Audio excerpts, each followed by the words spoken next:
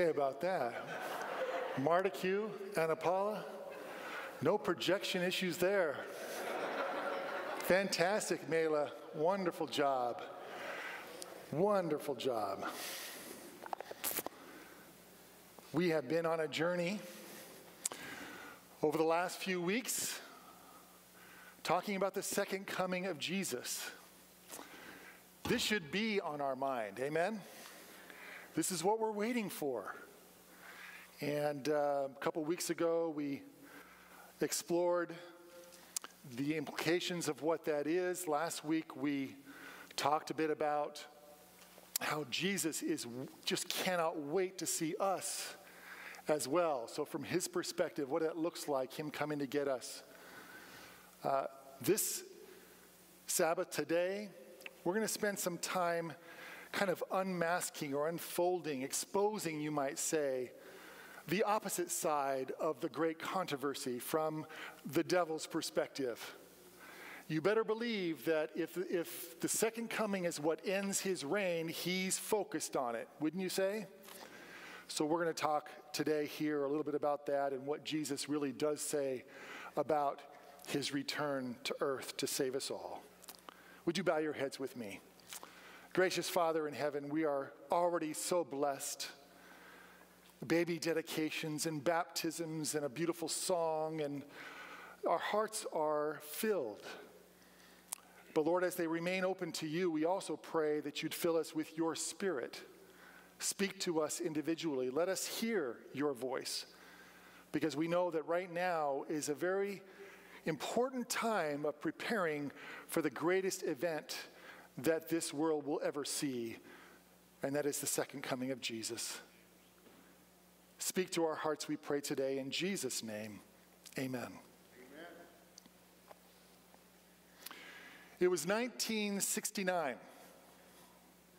Neil Armstrong and his lunar module pilot, Buzz Aldrin, lifted off to the moon in Apollo 11 for the first time. On Earth, Armstrong's wife, Janet, sighed as she watched the rocket leaving the atmosphere.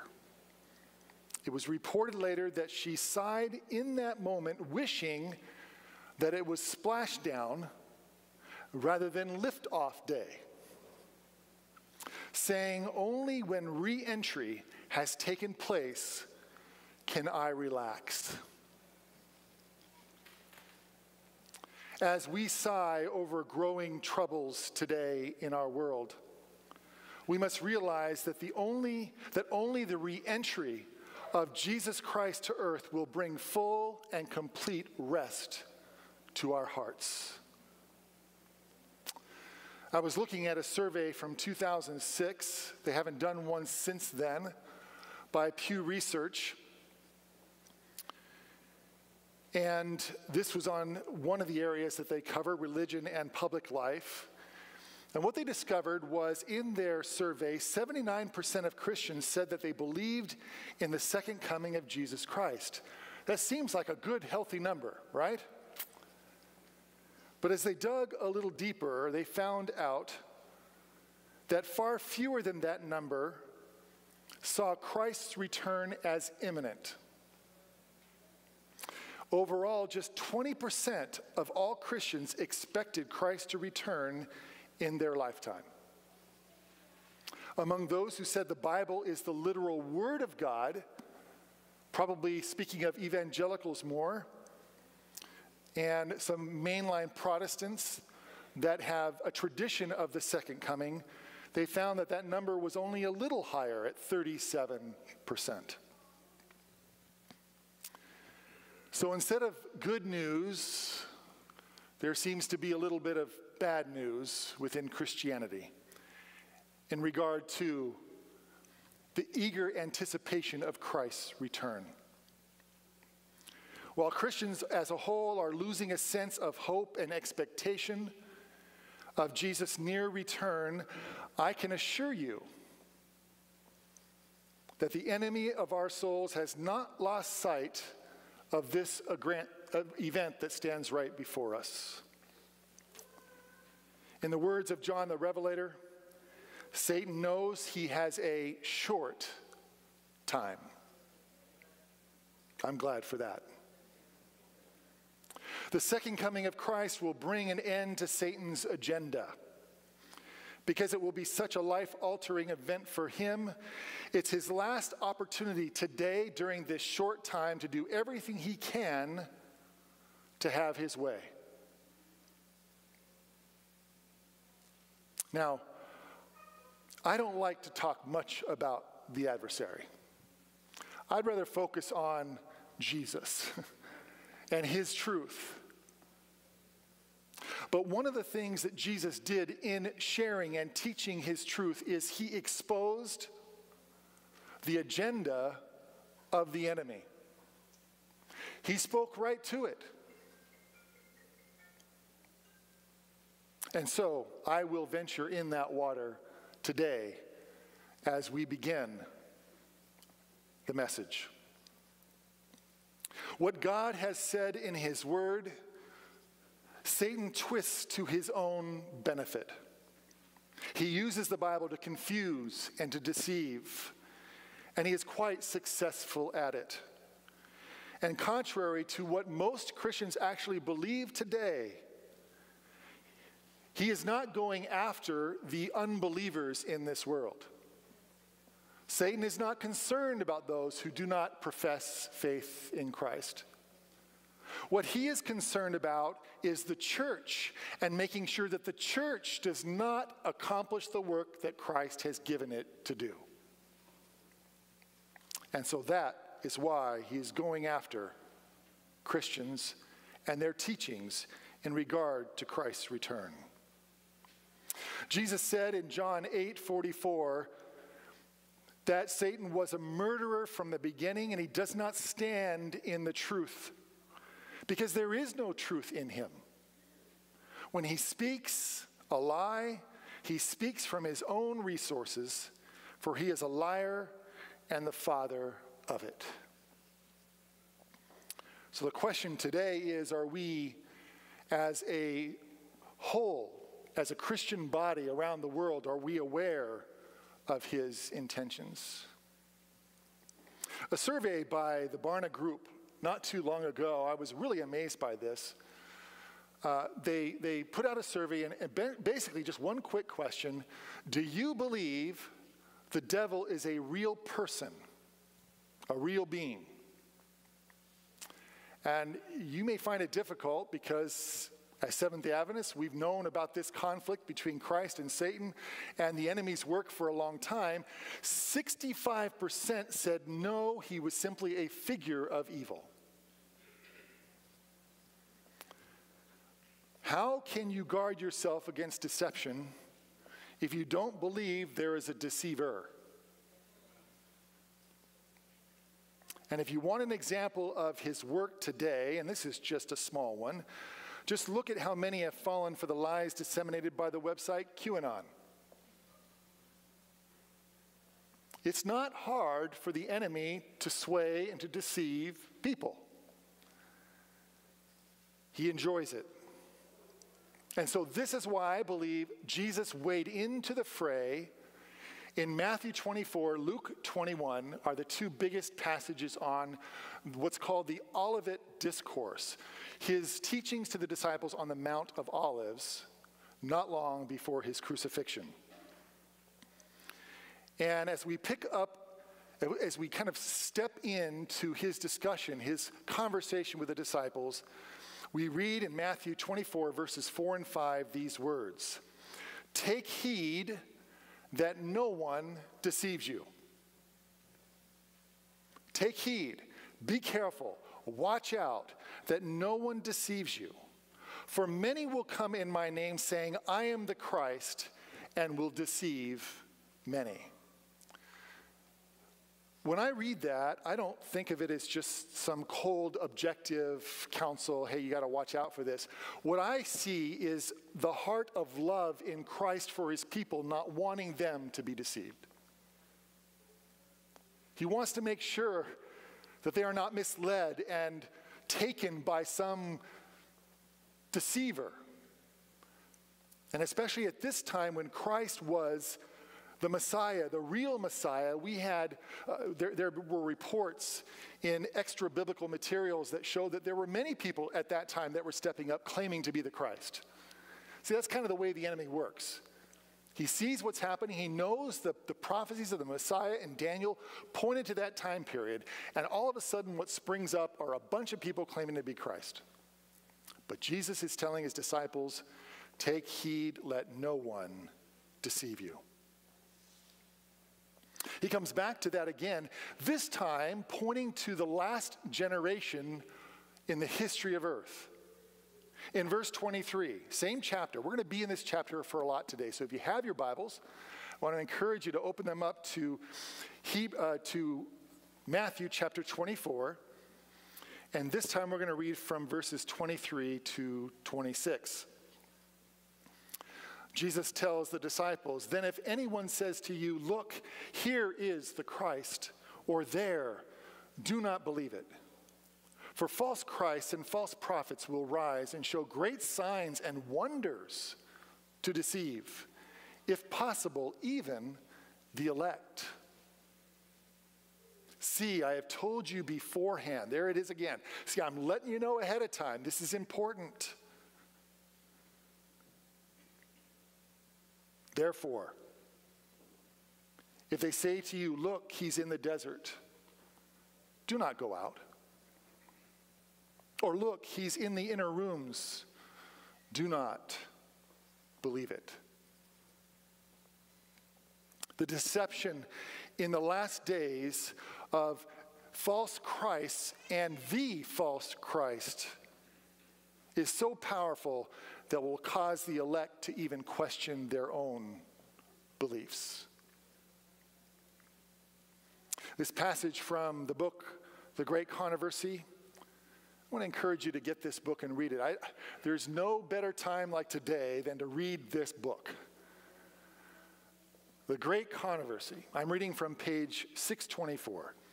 As the crowning act in the great drama of deception, Satan himself will personate Christ. The church has long professed to look to the Savior's advent as the consummation of her hopes. Now, the great deceiver will make it appear that Christ has come. Now, what's the difference between personation and impersonation? Do you know?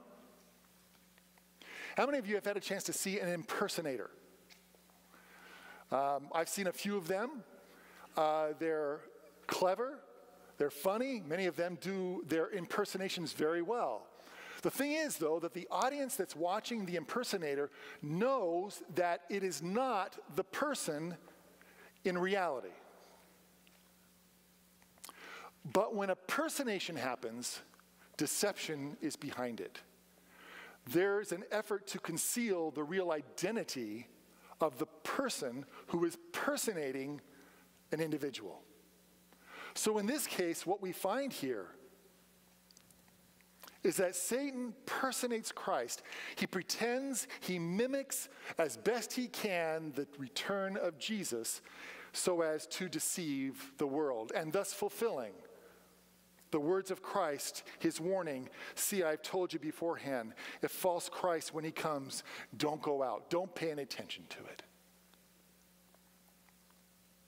Satan has been working on his grand delusion for a long time.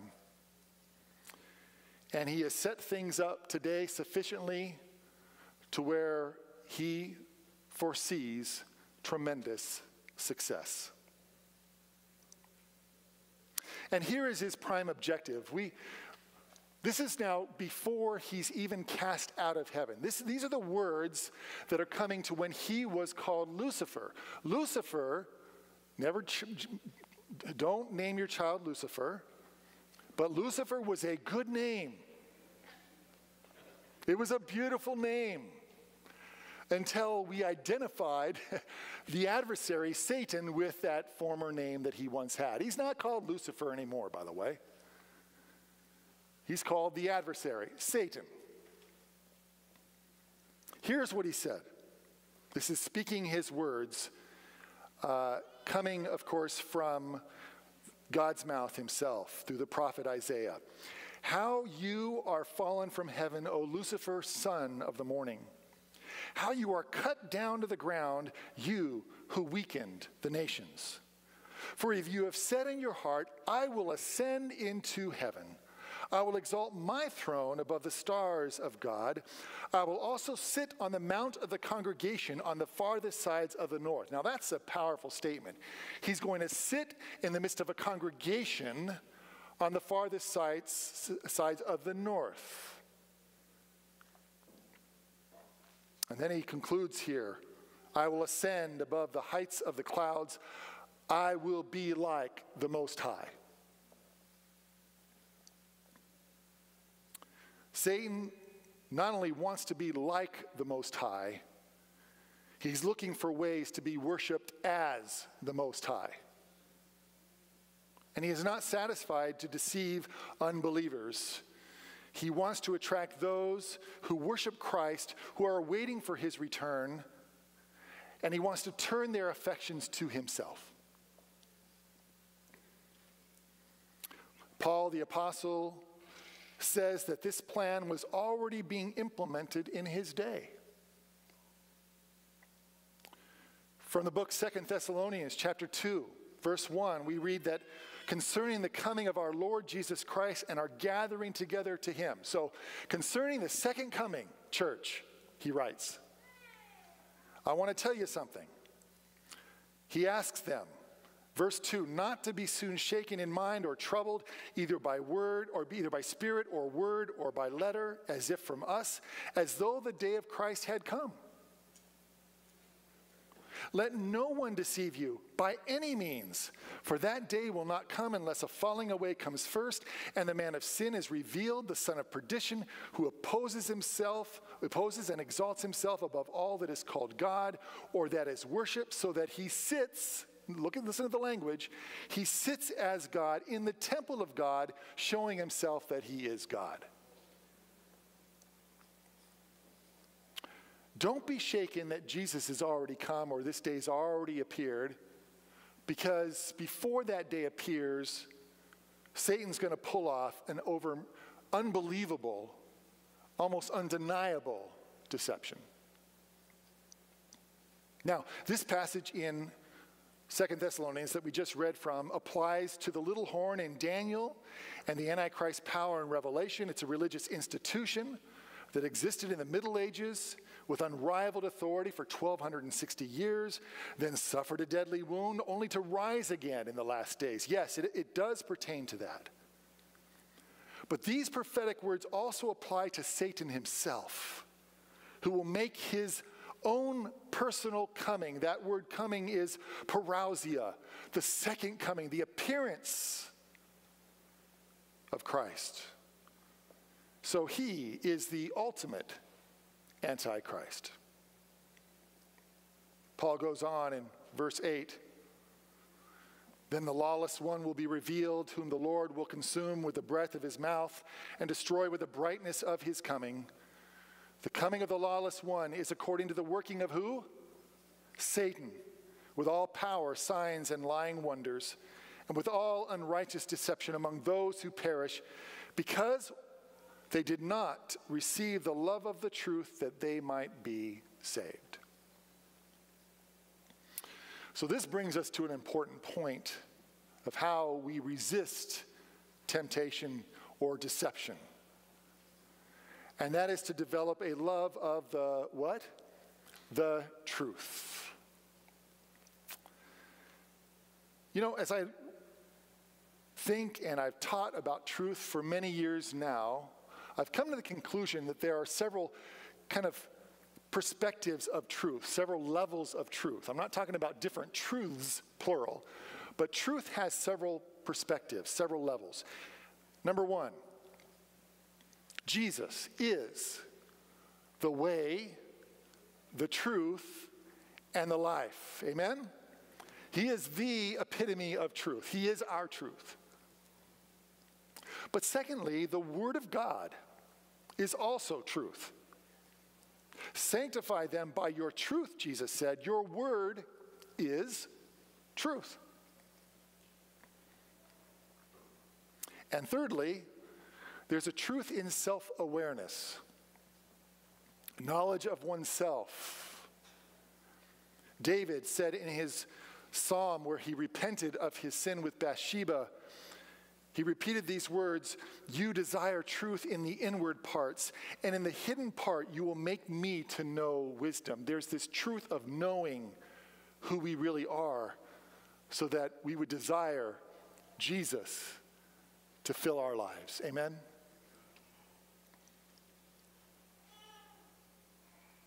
Now, there's a reason why I'm, a practical reason why I'm revealing this here to you today. It's because when this happens, when Satan personates Christ, our response must not be to flee. Our response must be to expose him, to reveal to the world that that is not Satan, and that is not Christ, that is Satan. Because if we're not doing that, who's going to say anything? There's a reason why Jesus has given us this message and an awareness of what will happen in these days. And I don't like to focus on it. I'd rather spend on something that is happy. But yet, here it is. In the middle of Christ's teaching on the Mount of Olives. If you read a little further in the Great Controversy, the next page, page 625, you'll find these words Only those who have been diligent students of the Scriptures, who have received the love of the truth, will be shielded from the power powerful delusion that takes the world captive. By the Bible testimony, these will detect the deceiver in his disguise. So you cannot rely on my word. Don't let me dictate what is what you believe.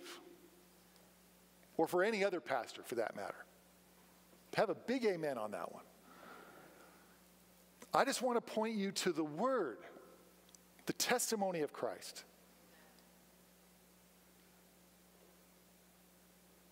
And there's another reason for that too. Paul the Apostle again weighs in on this same topic in 2 Corinthians 11. He talks about these false apostles, deceitful workers who transform themselves into apostles of Christ. And no wonder, for Satan himself transforms himself into an angel of light. Therefore, it is no great thing if his ministers also transform themselves into ministers of righteousness, whose end will be according to their works. Did you know that Satan has ministers? Now you do, if you didn't already before. And the only way to tell whether or not they are speaking the truth is found in the words again of the prophet Isaiah, chapter 8, verse 20 to the law and to the testimony. If they speak not according to this word, it's because there is what? No light in them. My friends, you've got to know the Word of God. You've got to spend time in it. And not just a quick reading of, of certain passages, but an in depth study and time with God, asking His Spirit to guide you into all truth because the Holy Spirit's name is the Spirit of truth. And He will guide you into all truth. That's a promise from Jesus himself.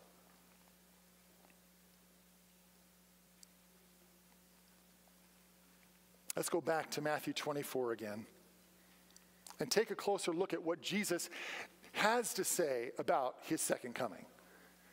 Uh, as, as, I'm sure you've heard this story several times, the best way to know if something is a counterfeit is to know the true, right? If you know the true really well, you can see a counterfeit. I'm picking up here with Matthew 24, verse 30. Then the sign of the Son of Man will appear in heaven, and then all the tribes of the earth will mourn, and they will see the Son of Man coming on the clouds of heaven with power and great glory.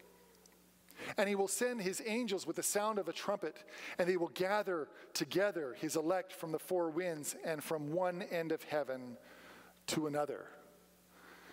It sounds like a pretty awesome event, doesn't it? Uh, this isn't something that you would just miss. This is worldwide. This is everywhere. There is no mistake. When Jesus comes, you will see him, and where will you see him? Up in the clouds, coming to this earth. And not only that, he has the ability to make it a, a miracle of letting everybody around this, this round globe see him at the same time. I don't know how he's going to do it. I have no idea. That's just amazing to me, though, isn't it? It's going to be miraculous. Jesus will not come in secret, he will come as King of Kings and Lord of Lords. You know, there's this inclination that exists within all of us. I've got it, you've got it. It's called escapism. Have you heard of that term before? Escapism? When conflict comes, when trouble comes, when pain and suffering are staring at you in the face, you want to escape. Am I right? Get out of there. I want to just get out of there. I don't want to ha- I don't want to endure anything. I don't like pain. Well, I don't know if anybody who likes pain. But we just want to escape from that kind of stuff. And because of that, I think that it's one of the reasons why we see a rapidly accelerating number of cases in alcoholism and drug abuse. It's also why we see a, an increase in suicides. It's one way to get out of here. But God would not have us take that quick route out. He has promised to be with us.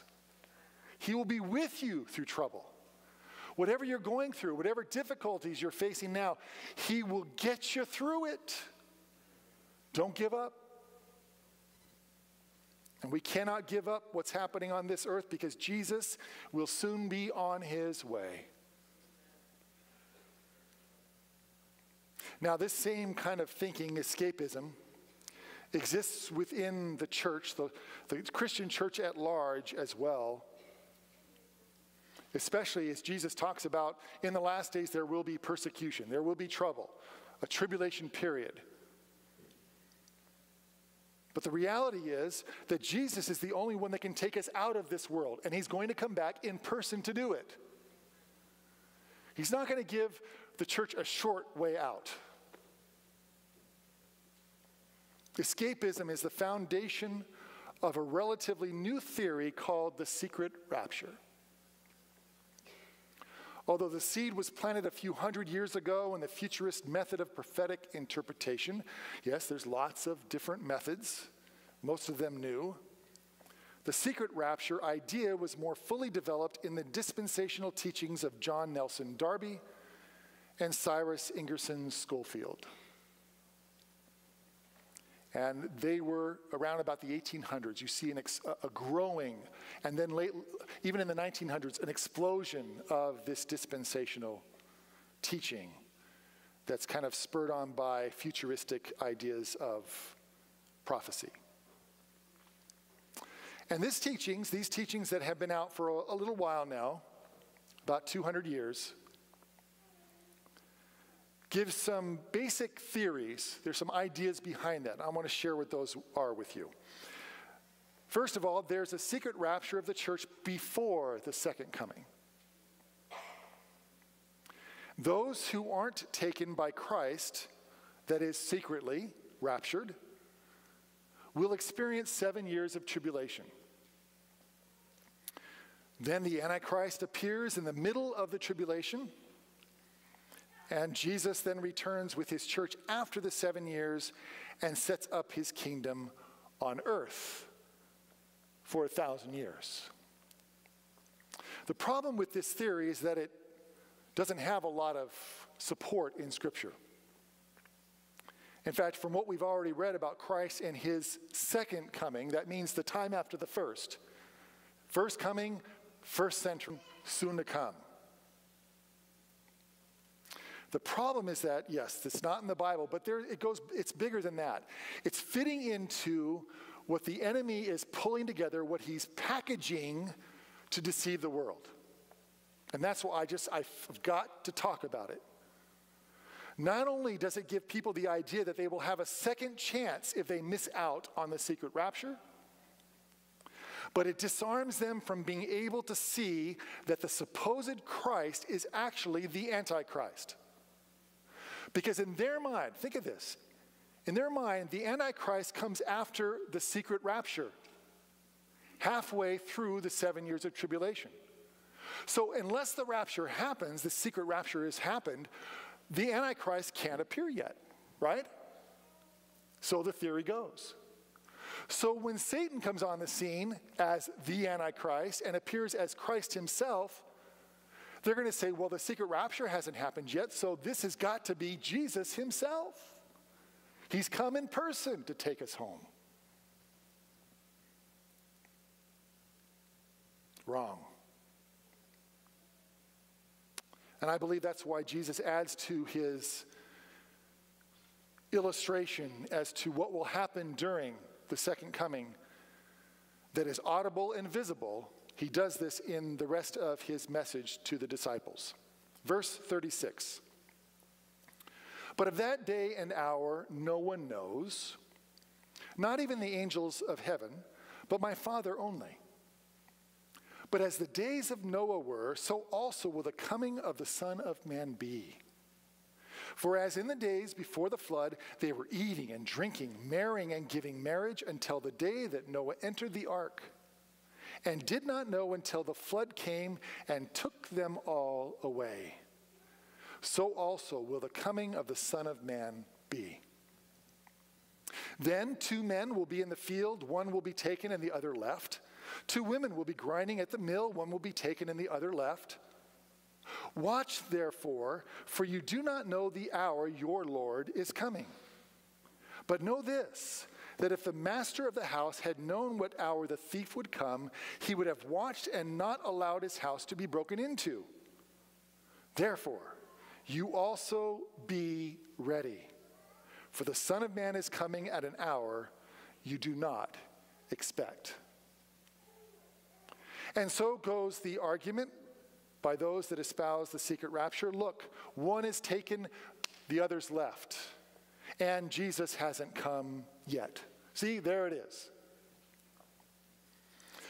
Well, I'd like to use this just briefly to give you kind of a basic understanding of what it means to apply Scripture and understand it in its proper context.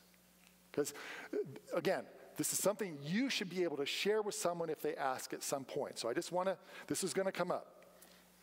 Notice that it begins by saying that as in the days of Noah were, that what surprised them was this flood that came in, took them all away. Now, I ask you a question. Of the two groups, those in the ark and those outside of the ark, which ones were taken away by the flood? those outside the ark, those that were the wicked. And so when you follow that context through here, when Jesus says that two will be left in the field, one taken, the other left, two women will be grinding at the mill, one taken, the other left, would you rather in that scenario be taken or left? Left. Because you don't want to be taken. Remember, the flood took away the wicked. So those taken away of the two in each here are taken not to heaven, but to destruction. And if you have any question about this, Look at Luke 17, because remember I said Luke 21 is actually the big passage with the Mount of, uh, of Olive speech or, or teaching that Christ gives his disciples. But in Luke 17, it picks up this specific part of that message. Listen to what Jesus says, or this dialogue between Christ and his disciples. The disciples asked him, Where, Lord? In other words, where are they taken? These two, uh, the two people, where are they, where are they taken to? And the response is, Where is the dead body? Where there is a dead body, there the vultures will gather. So there's no question about the taking and the left. You don't want to be taken. Say, I don't want to be taken. I want to be left behind. Left and remain till I see Jesus with my own eyes. Now, this is why I believe the book of Revelation tells us in symbolic language in chapter 19. You have the second coming in chapter 19 of Revelation, by the way.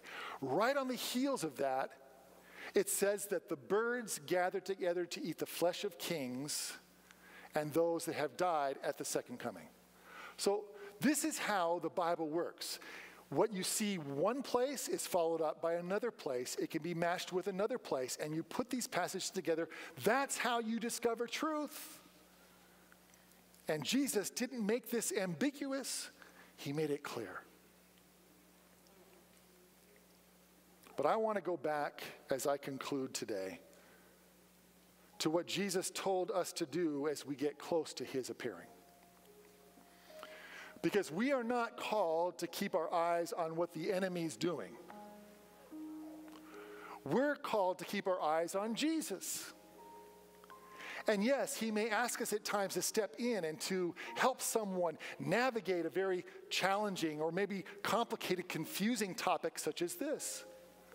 But our focus is Jesus and what he has revealed through his word. Amen? Jesus said, You be ready. When the Son of Man comes, you be ready. Here he's not emphasizing awareness, but preparedness. It's not enough to just be aware of the truth of what's going to happen. That won't save you. You've got to be prepared. You've got to be ready.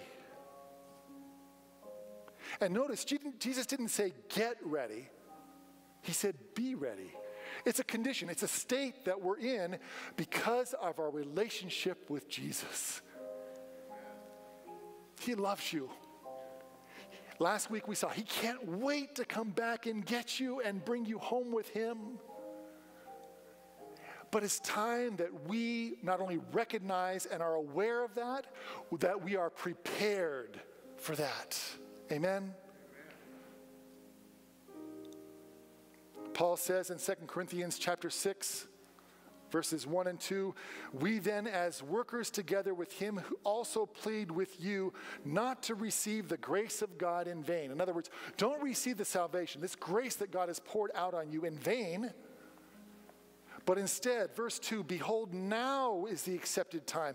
Behold, now is the day of salvation. My friends, today may be that day of salvation for you for you to make that full commitment to Jesus. I don't know what else we need in this world to happen to get us to wake ourselves up and realize that the second coming is on its, it's, it's right at the door. To me, I've seen enough over the last year or so. Even if it does calm down for a while, things are happening to move us toward this event, and it's happening very quickly.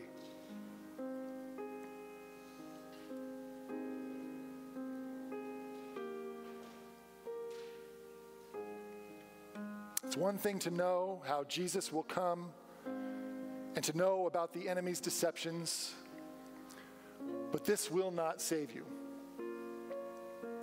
The faith of Jesus will save you. And exercising faith in Jesus will make him your Lord every day of your life. You see, we just don't need a Savior to come and take us out of here. We need a Lord to walk with us through the trouble. Too often we have to go through trouble to find out, to figure out that we need the Lord. Let's figure it out way before the trouble comes. We need the Lord today, tomorrow, and until Jesus comes so that we might live with him forever. It's time to go deeper in your relationship with him. It's time to go deeper. I want to invite you. If you want to go deeper, if you want to to get closer to Jesus, to understand more of His Word, and to be prepared for His coming, to stand where you're at. Just as a commitment to let Him know that this is your desire. You want to go deeper, you want to know Him better. There are too many distractions in this world. And we need to make sure that those distractions are put away so that we can have the time that we need every day with Jesus. Listen, I confess, even as a pastor, I can probably, I won't speak for Pastor Mark and Pastor Melanie, but I can speak for myself that sometimes I get up and there's so much to do, I hit the ground running. And I can get about halfway through my day and I realize something's missing. Oh, yeah, I forgot to invite Jesus to spend the day with me. And that's why I have on my phone a reminder that pops up pray, time to pray. So I see it. Oh, yeah, let's pray. Get down on my knees and pray. Just little things like that can help us. Use your devices to, uh, to remind you that Jesus is near. But as you stood here just now, the Lord sees that. He recognizes your desire. And He's there prepared to draw close. So draw close to Him and open your heart to Him because we only have one hope in this world. That is the hope in the coming of the Lord. It wouldn't be right unless we sung this song at least once during this series. Amen? We have this hope. Would you join me? in singing this song as we contemplate the return of Jesus. We have this hope that burns within our hearts.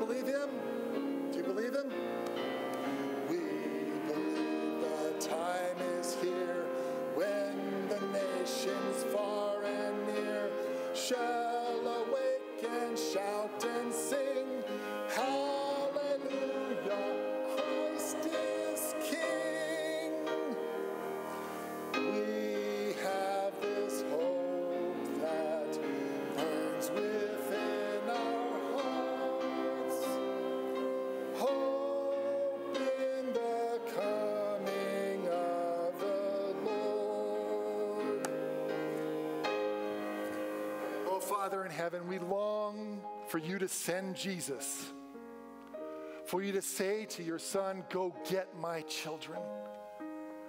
Lord, that day, we know it's soon. But right now, as we wait, we know the main and the primary mission is to save everyone that you can. So, Lord, may we, may we be a part of that salvation army that is to go to the world. To not only talk about, yes, the exposing the enemy and what he's trying to do, yeah, that's all a part of it. But the key part is the love of Christ for his people and how he wants to reside within each heart through his spirit. Lord, we pray for the outpouring of your spirit on your church May we enter a new era, a new age of being filled with your Spirit and then being empowered to speak and proclaim the everlasting gospel to the world. Lord, we thank you for calling us to salvation and an understanding of this truth. Lord, may we not be selfish about it, but may we open our hearts and our minds and our voice to share the wonderful good news with anyone who will hear it. Thank you, Father. Create divine appointments. Introduce us to someone who needs the gospel of Jesus. And let them also rejoice in the hope that they have found because of our voice and speaking to them the words of life. Lord, your grace is sufficient for us in these last days. We claim it. And we thank you for the promise to draw near to us and protect us and to keep us in your care. For we know that nothing can separate us from the love of God in Christ Jesus. And in his name, all God's people today said, Amen. Amen. Please be seated.